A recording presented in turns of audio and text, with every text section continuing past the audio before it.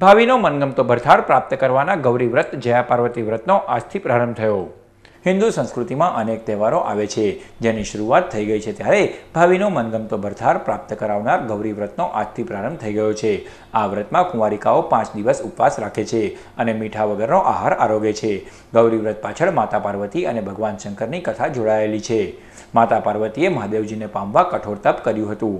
આથી કુંવારિકાઓ જો આ વ્રત કરે, તો તેઓને ભાવિનો મનગમતો ભરથાર પ્રાપ્ત થયો હોવાની માન્યતા છે. આ વ્રતમાં કુંવારિકાઓ દ્વારા જુવારાનું પણ પૂજન કરવામાં આવે છે.